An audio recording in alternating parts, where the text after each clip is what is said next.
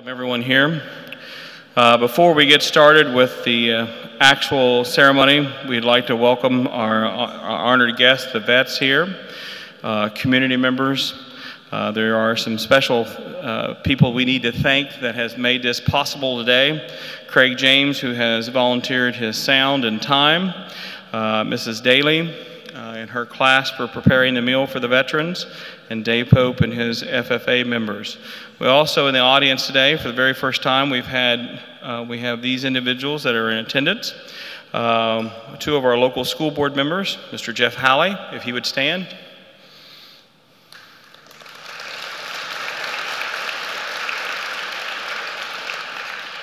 And Mrs. Beth James.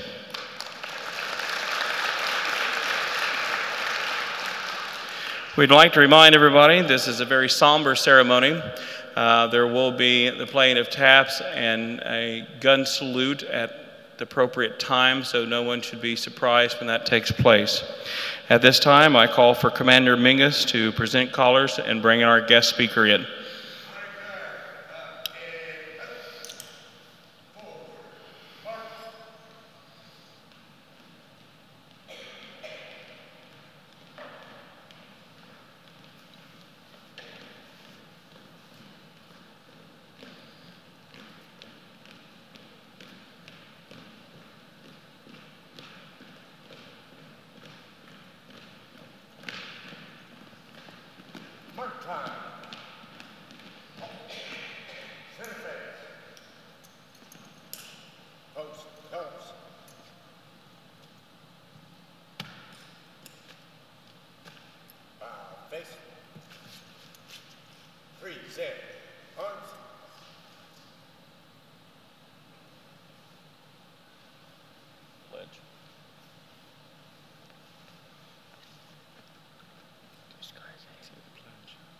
pledge allegiance. I stand.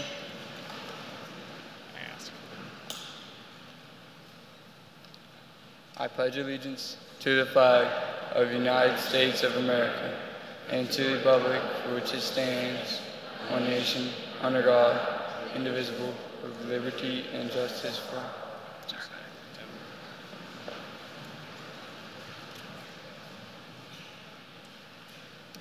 We'd like for everyone to please remain standing while uh, we have our playing of the national anthem and our invocation.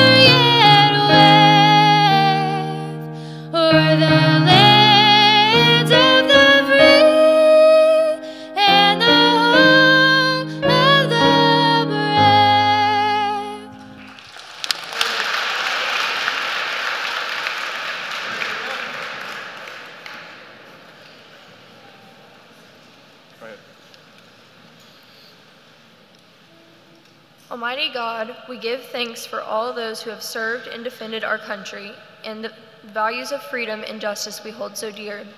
Help us be mindful of the sacrifices they made and the hardship endured by their fam families and friends so that we never take for granted the privileges they have secured for us. Hear us, we pray, through our Lord Jesus Christ. Amen.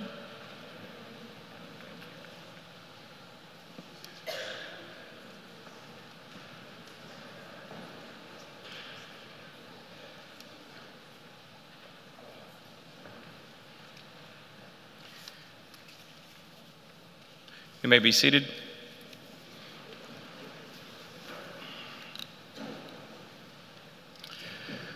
We are going to have um, our speaker step forth here. In the state of Ohio, Sean McCarthy was appointed as Assistant Director of the Ohio Department of Veterans Services in 2019. McCarthy served as Chief, Chief Legal Counsel for the Department of Veterans Services from 2015 to 2019. He previously served as a judge of the Franklin County Common Pleas Court and was later appointed as a judge of Franklin County Municipal Court. He spent more than 15 years as an assistant prosecutor for Franklin County, serving as lead prosecutor on major felony cases as a deputy director for the Drug Prosecution Unit. McCarthy volunteered for the military duty after 9 11 and was commissioned the Ohio Army National Guard. He was mobilized to Louisiana for Hurricane Katrina and deployed to Afghanistan with the 37th Infantry Brigade Combat Team. At this time, let's give our speaker a warm South Gallia welcome.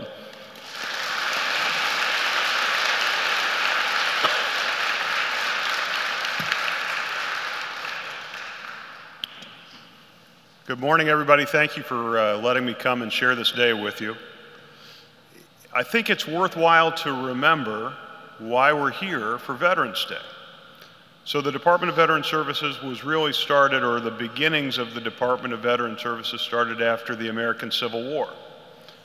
At the beginning of the Civil War in 1860, Ohio had almost no veterans to speak of. Five years later, at the end of the war, Ohio had over 300,000 people who had fought to serve the Union out of a population of a little over two and a half million people. And Ohio made the commitment to stand by those veterans through programs like the Veteran Service Commission in each county and the creation of what is now the Ohio Veterans Homes. Department of Veteran Services works every day to support those efforts and others to make sure that veterans come home to Ohio and make it a great place for us all to live. Veterans Day itself really comes out of World War I. We are going to be celebrating that day on November 11th because on November 11th, 2018, the guns fell silent. November 11th became known originally as Armistice Day. It was a day to celebrate the end of war. As all of those who, who have served in combat, including myself, know, war is something to be avoided as much as possible. A great American once said, War is a terrible thing. It is perhaps not the worst of things. At the end of World War I, Americans celebrated an end to combat, and they celebrated their new prosperity. For the next decade, Americans did well. Money was easy, Americans enjoyed the fruits of their labor. In November, or in 2000, sorry, in 1929, that came to a crashing halt with the Great Depression. In the aftermath of the Depression, as Americans struggled to find work or pay bills or even find food, Americans did what they have always done. They fought with one another. They argued about what the best way forward for our country would be. They argued about what the way out of the Depression would look like. Sometimes those arguments grew heated. People agreed or disagreed with the policies of the day. Elsewhere in the world, people like Emperor Hirohito of Japan, Adolf Hitler of Germany, Benito Mussolini sold their people on an easy lie that they could trade freedom for some momentary prosperity, that power would flow from their commitment. If that was a lie then, it's a lie today. that division may have confused people like Mr. Hitler, Mr. Hirohito into thinking that America was now an easy target. And in December of 2000 or of 1941, men like Hirohito and Hitler decided that America was ripe for the picking. At that time, and in all the time to come, they were soon to realize the error of their ways. We're here today to honor two men who stood when it was hard to do so. Mr. Merola, who served in World War II, Mr. Mink, who served in the Korean War, both combat veterans. We sometimes call that generation the greatest generation. There's certainly truth to that. But I would point out to you all today that there has never not been a greatest generation. From the beginning, when Americans rose up to cast off the tyrannical rule of a foreign king, until today, Americans have always been willing to meet the challenge that was put in front of them. This generation is no different. People like Hitler mistakenly believed, as Americans fought with each other about the best way forward, that that meant we were weak. It did not. It meant that we were free. People like Hirohito and Mussolini believed that we were strong because we were rich. We were not. We are strong because we are free. Our freedom has always been protected by the average American. And in the time after the Great Depression, or in any other time, as Americans fought about what we should do with our country, we have sometimes profoundly disagreed. But at every time since then, and I think in every time to come, we will be reminded when somebody chooses to challenge our freedom that all Americans, regardless of political view, will rise to that challenge. Today we celebrate Veterans Day. We celebrate those people who have put their lives at risk in order to protect their country. Whether they did it in times of peace, as many veterans do, or whether they shed their blood on the battlefield, we all owe a debt to those people who are willing to take up that service. As Americans, I suppose it is gratifying to remember that we have never run short of such men and women. And having served in our most recent war, I can tell you that there doesn't appear to me to be any shortage of such men and women today. I want to thank you for letting me come here and celebrate this day with you. And I want to thank Mr. Merola and Mr. Mink in particular for their service to our country when the hour was dark. Thank you very much, and God bless America.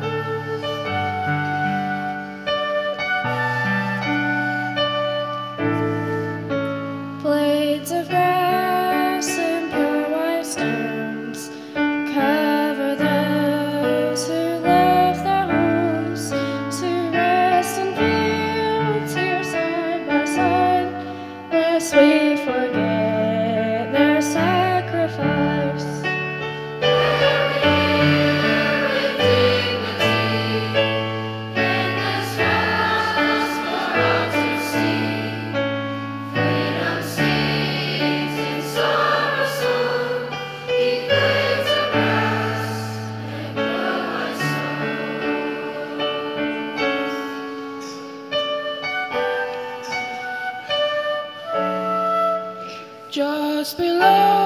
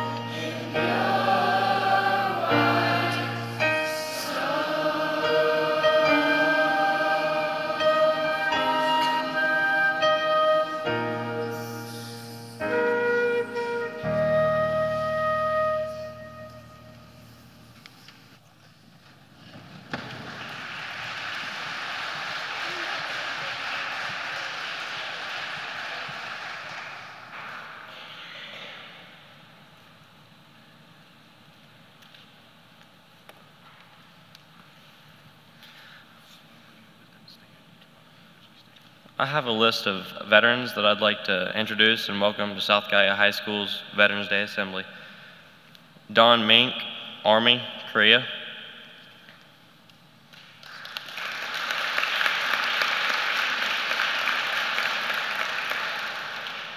Tony Marola, Navy, South Pacific.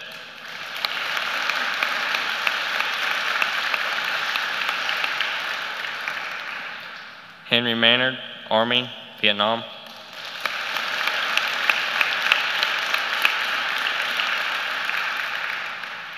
Bill Mangus, Army, Vietnam.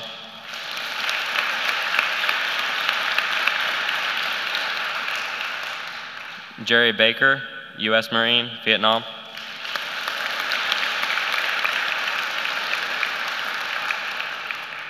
Hollis Myers, Army, Vietnam.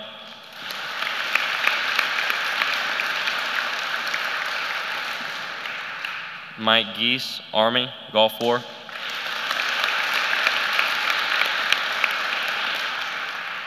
Eugene Johnson, Sr., Army, Korea.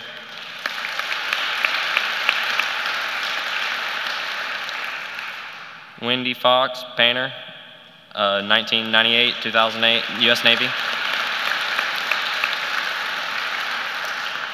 Jason Stout, 1999, 2003, Air Force.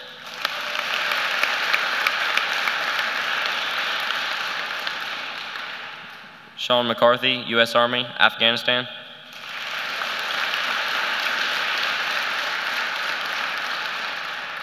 Mike Bevan, U.S. Army, Vietnam.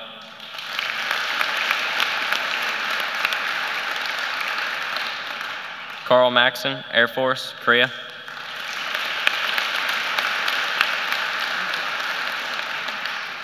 Bob Dunlap, Army, 1969 through 1970, Vietnam.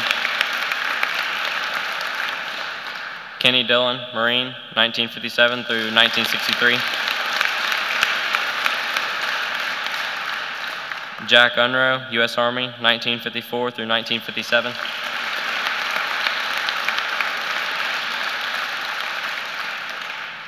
Scott Lear, U.S. Air Force, 1995 to 2016.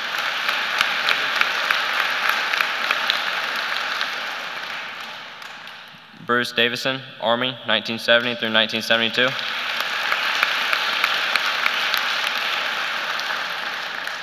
Anthony Bowling, Air Force, 1993 through 2002.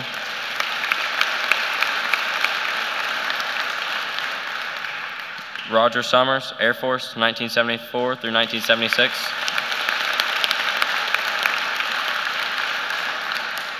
John Triplehorn, Army, 52 through 54, Korea.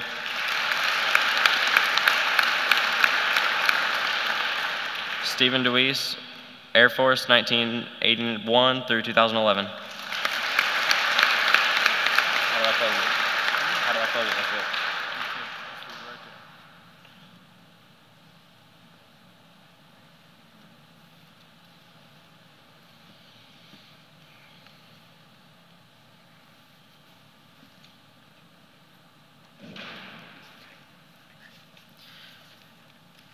One additional person we would like to thank, and, and uh, I know that they, they don't take credit for themselves, but they, they put on a fine uh, job, and, and um, it's Mr. Fowler and all that he has done uh, to rec help recognize our veterans for our Veterans Day Assembly, um, as well as uh, coordinate with the VFW as they come each football season and help take care of us in the posting of the colors and of the flag at every football game. And um, we certainly appreciate him and all that he does. And I'd just like to thank him personally for that.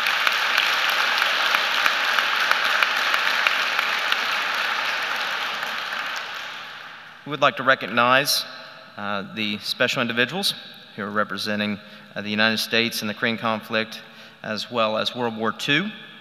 Mr. John Triplehorn,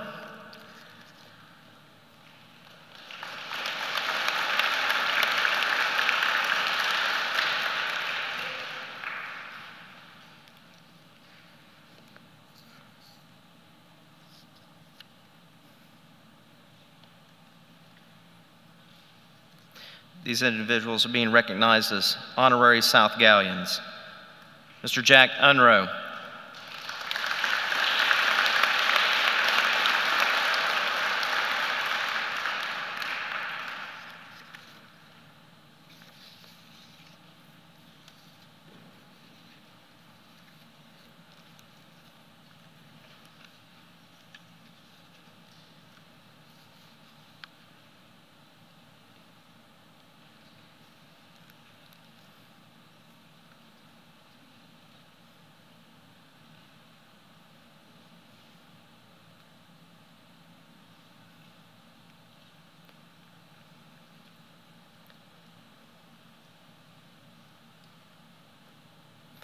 Mr. Don Mink.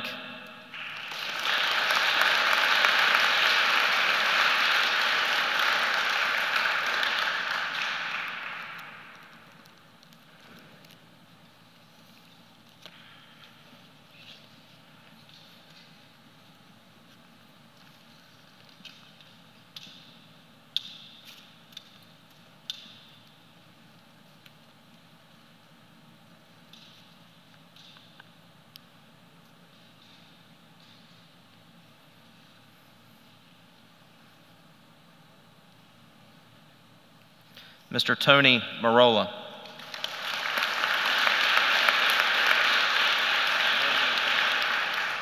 Representing World War II.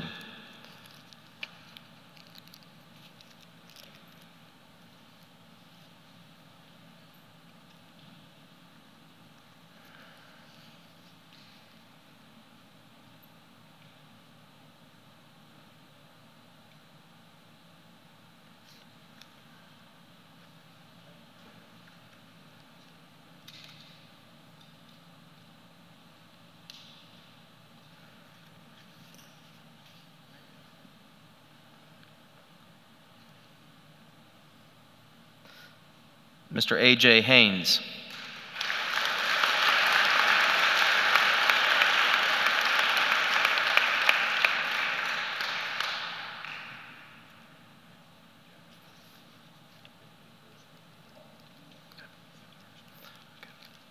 We'd also like to recognize and thank our guest speaker, Mr. Sean McCarthy, for coming this morning and speaking with us. We talk a lot about being a part of a rebel family here at South Gallia, and uh, that is absolutely what we want to embody, and we want to thank as our veterans.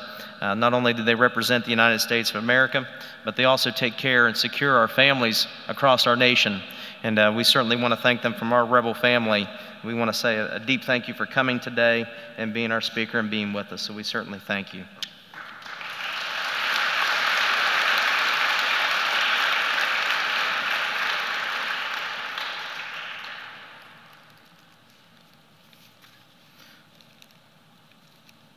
We also have Carl Maxon.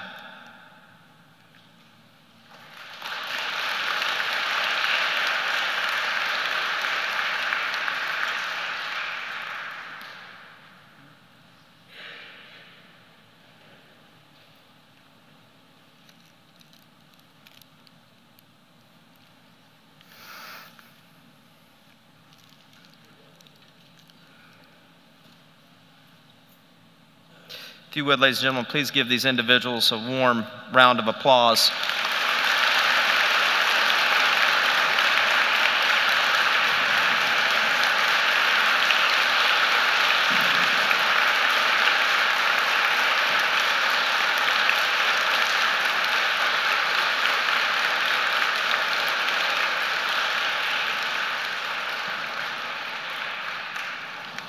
Thank you, gentlemen. We'd also like to thank again our veterans who are here with us today and those who aren't with us across the United States of America representing the United States. Thank you for all that you have done, for all that you have given, uh, the sacrifice both personally and across your families, as well as the United States, for all that you've done to help secure, defend, and keep our great nation. Thank you.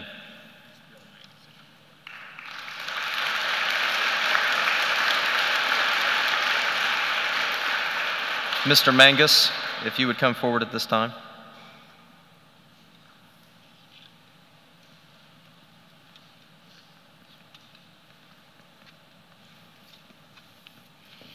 Good morning.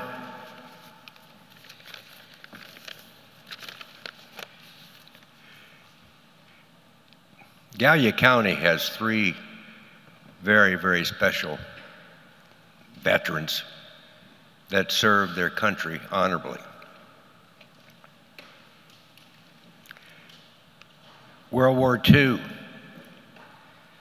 Charles T. Gowan, 314th Infantry, 79th Division, Omaha Beach, died.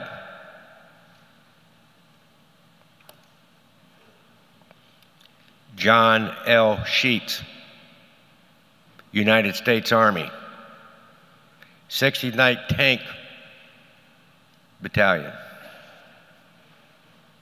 Aubrey E. Smith, 116th Infantry. All three of these veterans laid their life down and died for their country. So every one of us in this room would have a good life. I'd like to take a moment before we go any farther and tell you a quick story about two of my honor guard. Henry Maynard off to my right. November 11th is a special day for him personally. While serving in Vietnam with the 173rd Airborne Division, of all days to get shot in the back on Veterans Day, November the 11th, by the Viet Cong. Henry never knew that he actually got shot on Veterans Day until 2018, last November, when this honor guard presented him with a Purple Heart coin, which if you go up to him right now, I bet you he's got it in his pocket. On my left, the guard here on the end, Jerry Baker, United States Marine Corps. 1968, June, on a hill up on the DMZ, Dong Ha. They got overrun by a battalion of North Vietnamese. His regiment, known as the 3 4 Battalion Strength, got wiped out, dead.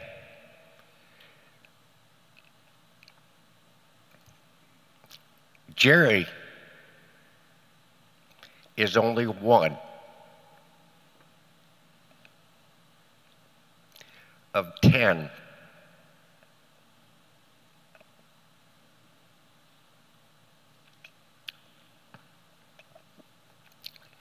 that's here today. Thank you.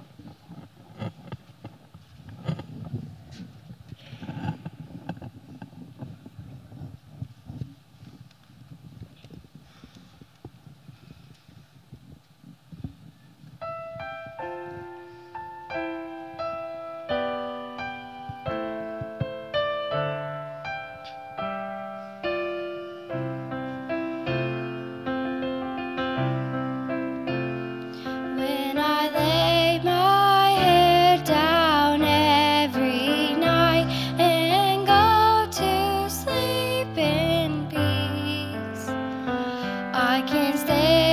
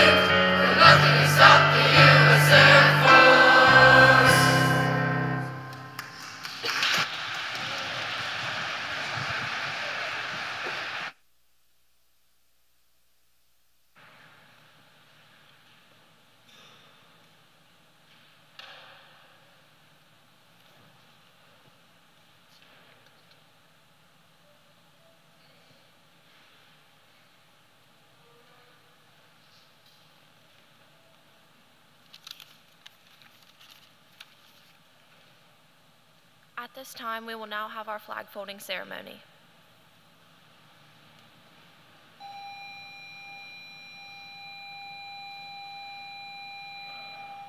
The flag folding ceremony represents the same religious principles on which our country was originally founded. The portion of the flag denoting honor is the canton of blue containing the stars representing the states our veterans served in uniform. The canton field of blue dresses from left to right and is inverted when draped as a pall on a casket of a veteran who has served our country in uniform.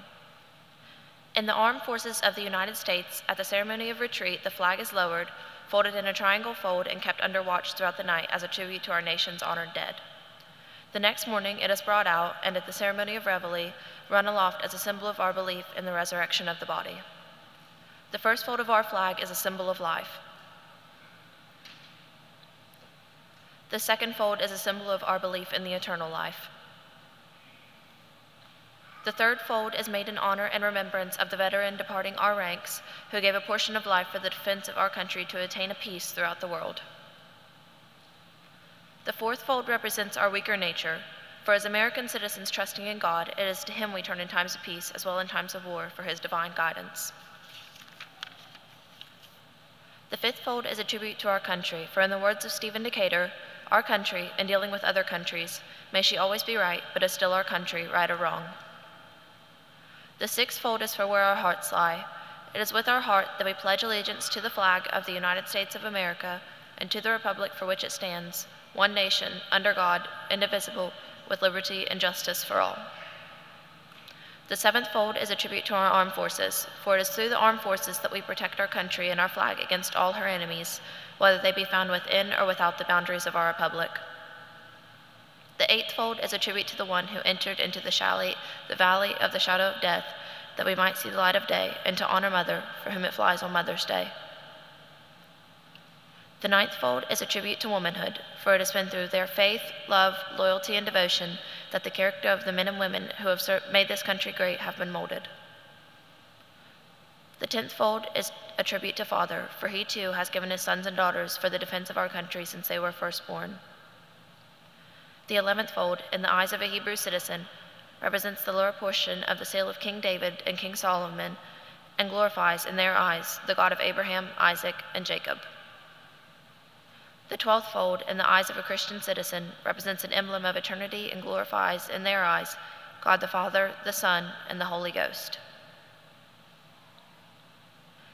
When the flag is completely folded and the stars are uppermost, reminding us of our national motto, In God We Trust.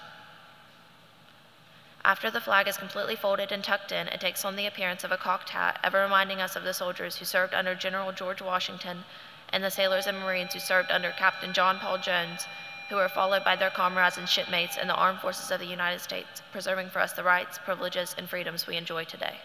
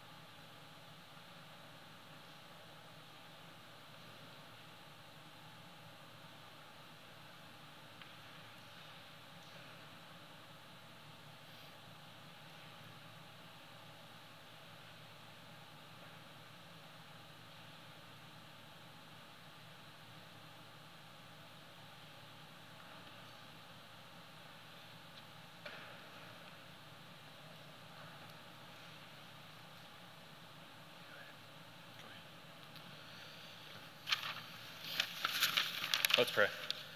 Our Lord, who is in heaven, thank you for thank you so much for this day you have given us. Today, Lord, as we honor our veterans, men and women who gave their best when they were called upon to serve and protect their country. We pray that you bless them for their unselfish service to preserve our freedoms, our safety, and our country's heritage for us all. We respect them, we thank them, we honor them, we are proud of them, and we pray that you will watch over these special people and bless them peace and happiness. In Jesus' name we pray. Amen. At this time, I'd like to ask the FFA if the members that are dressed, if they would escort at this time our veterans to uh, Mrs. Daly's room for our meal.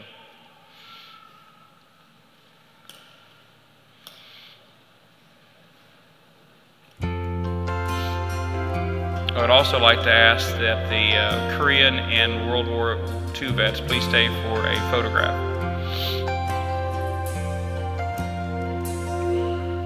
If tomorrow all the things were gone, I'd work for all my life, and I had to start again with just my children and my wife. Thank my lucky stars to be living here today. Cause the flag still stands for freedom, and they can't take that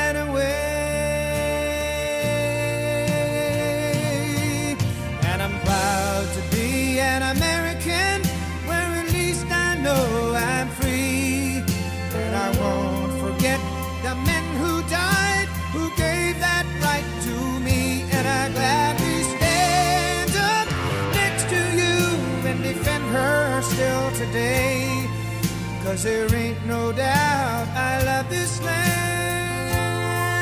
God bless the USA.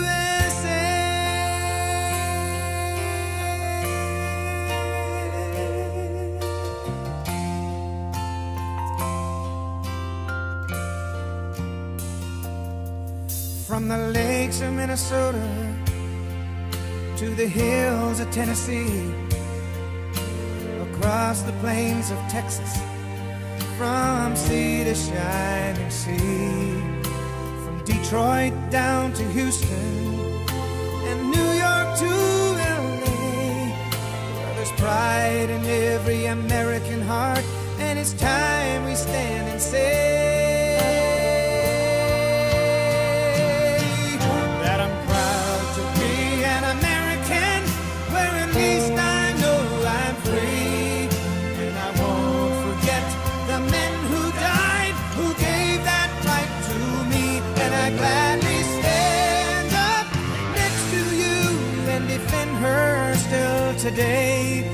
Cause there ain't no doubt